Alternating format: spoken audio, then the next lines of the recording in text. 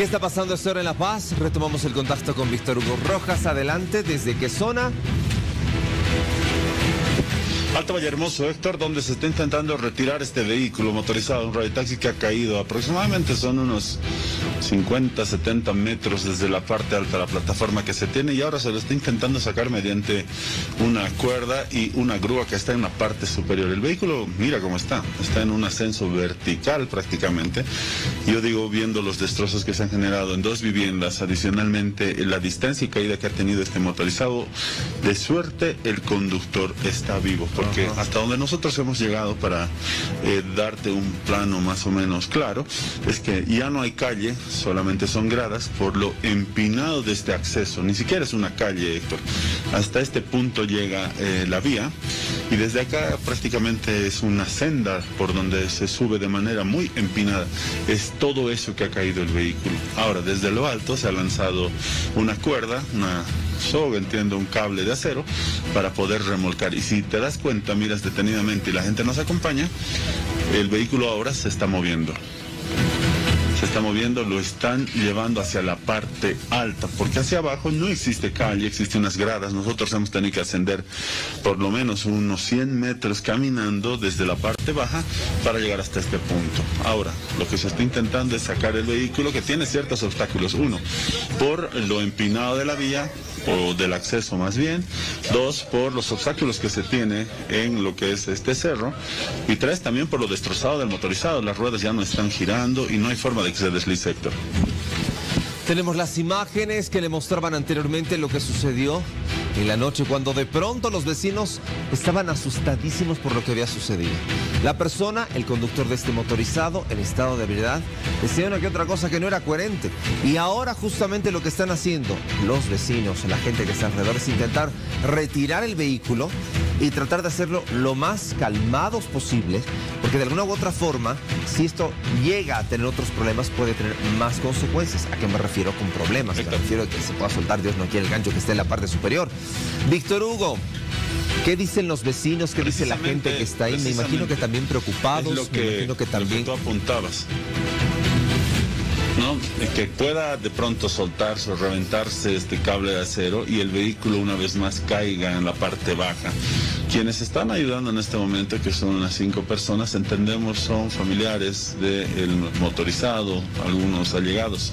Los vecinos no están trabajando, hemos intentado tocar alguna puerta, pero están más ocupados en reparar y arreglar también lo que ha sido los daños que se tienen en la vivienda, siendo que la parte de la vivienda, te lo voy a mostrar un poquito con la cámara, ha quedado también afectada toda esta esquina de la vivienda. Falta muro, ah, se ha dañado una ventana. Tenemos escombros aquí de ladrillos en el piso que estaban debajo del motorizado. Lo propio con una antena que está casi a nuestros pies, estas antenas de televisión que se tiene, igual ha quedado hasta la parte baja. Entendemos que esto estaba, estaba en la en, la, en la parte del techo, imagínate, ha llegado hasta este punto. Entonces, son todos los daños que se han sufrido en esta madrugada. Desde la medianoche prácticamente es que se ha tenido esta eventualidad y que se sigue trabajando hasta este momento, intentando retirar el vehículo.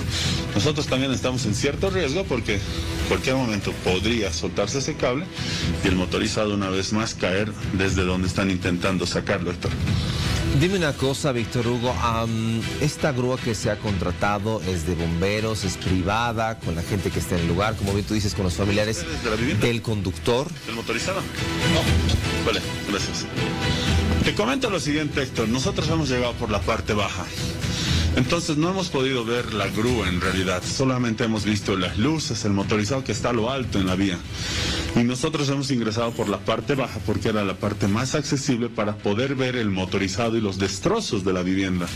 Entonces no te podría asegurar. Ahora, eh, sabemos que los, las grúas que tiene tránsito no tienen la capacidad de este tipo de extracción. Entonces dudo que sea de alguna eh, institución policial, debe ser alguna particular, Héctor. Ahora, están intentando con algunos callapos, con algunas maderas, eh, mover el vehículo, mira, para poderlo extraer. Desde que nosotros hemos llegado, al menos em, han subido unos 20 metros desde donde estaba el vehículo en la parte baja y continúan las tareas. Eh, un poco eh, a fuerza humana están moviendo el vehículo para que este no tenga obstáculos y pueda salir en la parte alta de, de lo que es la vía. Así que es toda una tarea, son cinco personas que se están dando a, esta, a este trabajo de fuerza que se está haciendo para evitar obstáculos y así recuperar lo que ha quedado de este motorizado que prácticamente está destrozado. No es eh, solamente un embarrancamiento, sino es que ha sufrido vuelcos en el camino mientras venía precipitándose y pues una vez más te lo digo, es suerte. Víctor Hugo. Si no hay otra palabra. Víctor Hugo, te preguntaba por el tema de la presencia policial por un motivo, porque en este tipo de hechos el vehículo debe ir inmediatamente hasta las oficinas de tránsito. No sé si es que están algunos efectivos. Y abajo no está. Y como te lo he explicado, en la parte alta no hemos llegado por la accesibilidad de ver el motorizado y los destrozos que ha generado en las viviendas. Seguramente, y si nos dan tiempo, vamos a poder girar para poder llegar a la parte alta, porque hay que ir hasta Pampas así para ver la parte. Muy bien, Víctor Hugo. La grúa Entonces, no perdamos más tiempo, por favor, y vamos de inmediato a la otra parte, a la parte superior, para conocer un poquitito más cuál es el movimiento que está ahí, porque nos interesa mucho conocer si es que está o no está la policía, porque primero que este es un riesgo. Lo están haciendo los propios familiares de la persona que conducía este motorizado, no según lo que nos han indicado en este reporte. Ahora, algunos vecinos tal vez probablemente estén colaborando en medio de todo esto, pero debe ir de inmediato hacia las oficinas de tránsito y es la policía la que debe realizar la investigación al momento de realizar la captura, por ejemplo, de este vehículo que ha quedado en esas condiciones, por lo que ya le habíamos contado. En breve entonces retomamos el contacto con nuestro periodista 642.